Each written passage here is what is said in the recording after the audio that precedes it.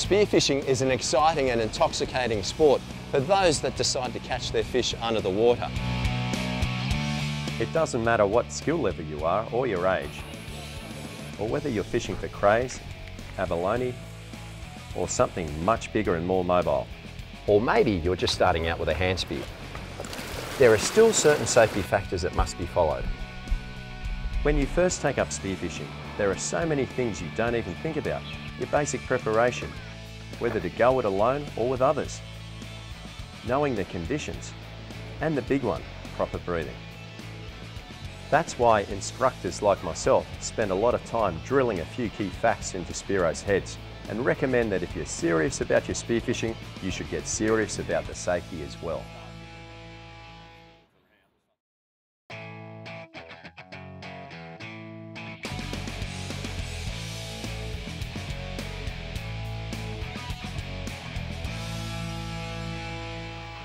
Start with breathing.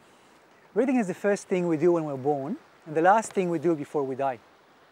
None of us is really aware of the way we breathe, let alone practice it knowingly or awarely. Most of us don't even think about breathing. But when we go freediving or spearfishing, we have to stop. When we breathe, we inhale oxygen, use this oxygen to provide energy for our muscles, and then we exhale waste products such as CO2. Most people think that if they inhale deeply and breathe up a long time before they dive, will give them a longer bottom time. But that's not really the case. Over-breathing or hyperventilation is one of the main contributors to diving-related accidents, such as loss of motor control or SAMBA, or even a blackout.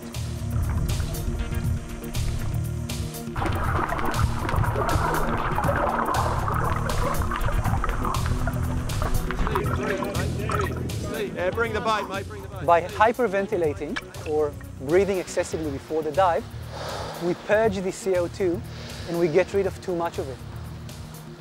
CO2 is the main triggering mechanism for our breathing.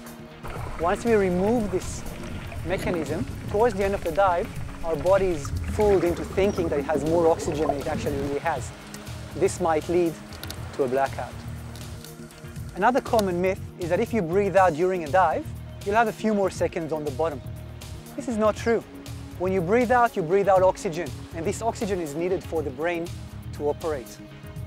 When we get back to the surface, another way of reducing the risk of a SAMBA is by proper breathing. Avoid breathing forcefully.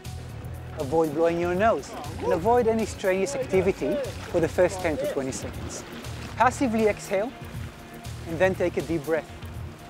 Once the air is in, hold it for a split second. Then again, passively exhale, good inhale, and hook the air in. Passive again, and hold. Repeat the process for three or four times until you feel recovered. A shallow water blackout or a SAMBA might not have any warning signs, and the diver might get to the surface, black out, without feeling anything. But in some cases, the diver might feel some fatigue, tingling sensations, either in his fingers or in the lips. He might feel changes in his vision or any signs or any feeling of being unfocused, for example. These are just a few of the signs we should look out for. But always remember, the most important thing is diving well within your limits.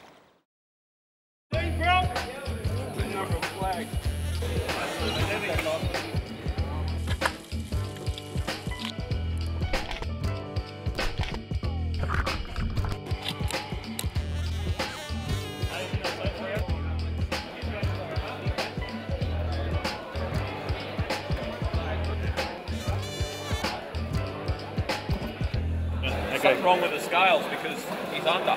He's easily five or six kilos. That whaler under.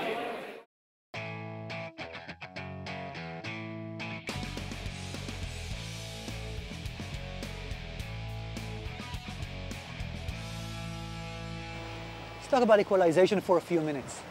Equalization is actually one of uh, the biggest limiting factors for uh, spearos and freedivers.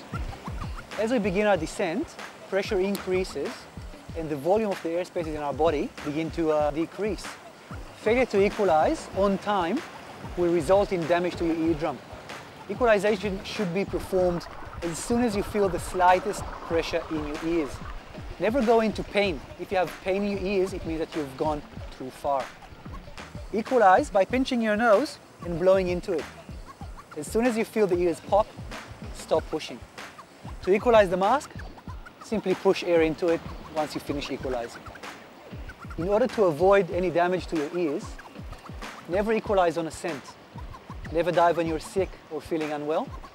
Never dive with earplugs as they prevent proper equalization. And if you dive with a hood, make sure you have some water in it.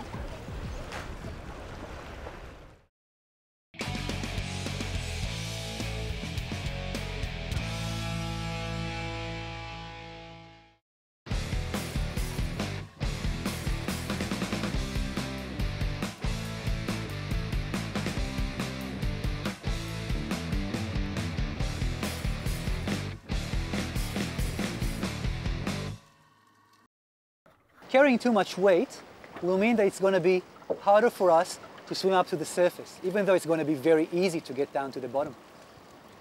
Now, the amount of weight that we're going to use depends on the depth in which we're going to spear. But to be on the safe side, we want to be positively buoyant on the surface at all times. To check if our buoyancy is correct, we'll use this experiment. Stand in the water and take a deep breath. The water level should be at around your chest. Then passively exhale the air and see what happens. You should draw down a little bit and the water level should be around your forehead. If you sink below the surface on a passive exhale, you're carrying too much weight. If you're still very high above the water, even after a passive exhale, you're carrying too little weight and you can add a little bit more.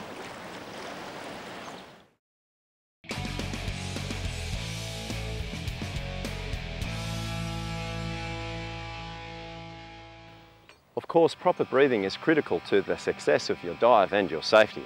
But there are a lot of other safety issues that people tend to neglect, and they're the basic ones, such as carrying a float and a flag. Using a flag attached to a float is so important for spearfishing. You need to be highly visible, not just to your buddies, but to other water users, like people driving jet skis, yachts, and boats, who may not see you without having something clearly visible in the water. So use a flag and keep your float big and bright. A dive float also gives you something to hang on to if you need a rest. You can hang your catch off it and even supplies like food and water can be put on your float.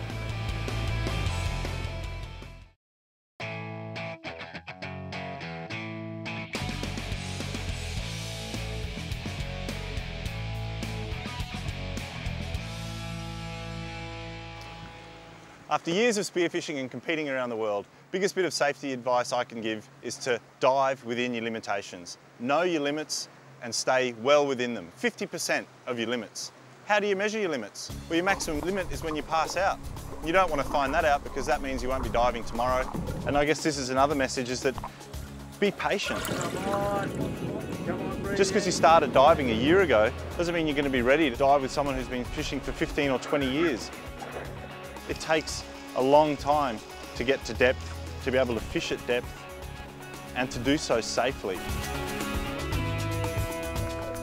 I guess the biggest rule of thumb that I'd, I'd have is that if you can't dive to the bottom, work around or at least lie on the bottom for 10 or 15 seconds and then swim up to the surface and be comfortable in doing so at every part of the dive, then you're out of your depth. You're beyond your limits and you're asking for an accident.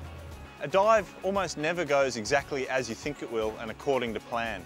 You push yourself to your limits right from the word go, you've got no energy towards the end of the dive. You might find the best spot later on in the day and because you pushed yourself early, you can't fish it productively or you could put yourself in a compromising or a dangerous situation. And if the surf picks up while you're out there, you haven't got the energy to fight the current to get back in to shore and then to fight through a surf to get back on shore. It can be really dangerous.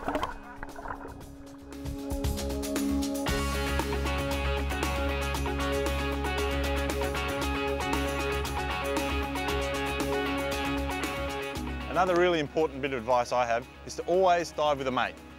Two of you in the water adds to safety, and in my experience, diving as a pair you'll actually shoot more fish than if two guys went individually in the same area.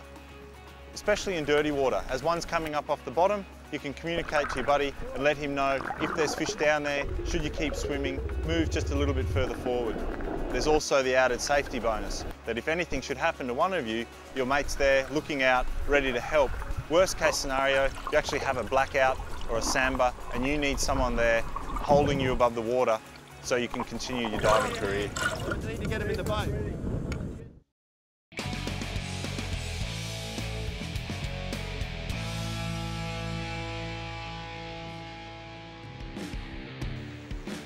A quick word on spear gun safety. Spear guns are made up of five major components.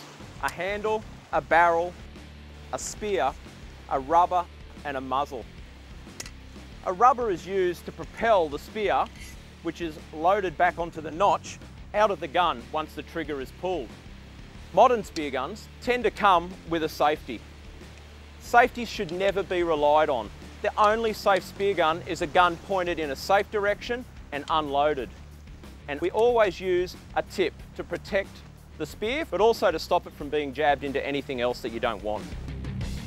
And remember, never enter or exit the water with a loaded spear gun. A simple knock could set it off. And by the way, pointing a spear gun at someone in anger or even as a joke Come on mate, take it easy. is a criminal offence. Just like using a gun or a knife, you could be charged by the police and even sent to prison.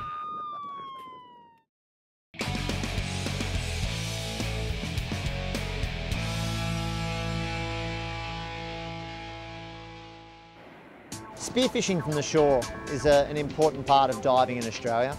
And although you can run into a few problems in the ocean, um, a lot of people have, their, have most of their difficulties uh, entering and exiting the water. What you've got to pay attention to when you're jumping off the rocks is a safe entry and exit point. Know your tides, know the weather conditions so that you're not going to get caught out by the swell coming up during the day. When you're uh, in the water, you've got to have an alternative point to exit from. So if the swell picks up while you're in the water, you've got a safe place to get out. A few things that I use when I'm jumping in is I'll um, have my gear prepared before I get to the water's edge. So I'll clean my face mask, have my uh, rig cord wrapped up on my gun with my float attached. When I get to the water's edge, I'll put the float and gun in the water and quickly get my fins on.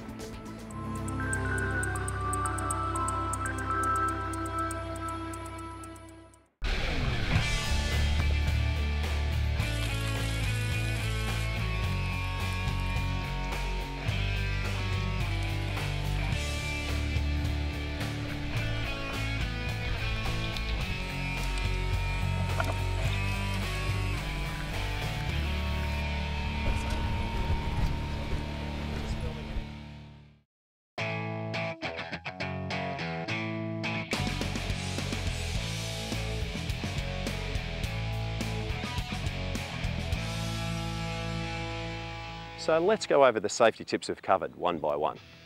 Forget the heavy breathing stuff from the movies. Relaxed breathing, like what you naturally do, is what really works. Remember to have the right gear, especially a float and flag. Always put a tip on the spear gun and never point it at anyone, even if it's unloaded. Always fish with a mate. Know your limits. Study the conditions, the weather, the tide and swell. Figure out your entry and exit points carefully. And remember, never turn your back to the swell. Equalise before any discomfort. Don't load up on weights and remember to check your buoyancy. What about a knife, in case you need to cut yourself loose? Be ready in case of emergency with some basic gear and have a plan for this instance. If your dive buddy's had a samba or blackout, make sure he doesn't dive for the rest of the day. And if you suspect your dive buddy has inhaled water, seek medical assistance. Make sure you have your mobile ready to dial the emergency number if the person's recovery is slow and you need proper care. Triple O is now the only emergency number for both landlines and all mobile phone carriers. What about CPR? Your knowing how to give CPR could mean the difference between life and death for a mate. Try St John's, the Red Cross or DAN, Divers Alert Network, for inquiries about these courses or finding info on CPR. Think about this, no fish is worth your life. These few tips will keep you spearfishing safely. There's more info available over the internet, dive shops, your local spearfishing club, and the USFA has this great publication, Guide to Spearfishing in New South Wales. I look forward to seeing you down there.